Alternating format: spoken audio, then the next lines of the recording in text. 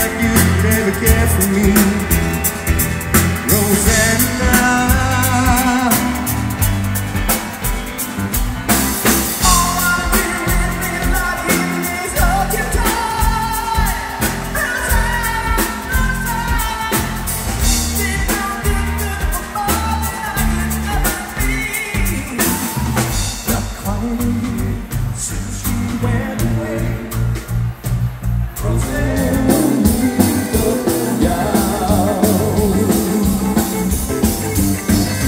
world.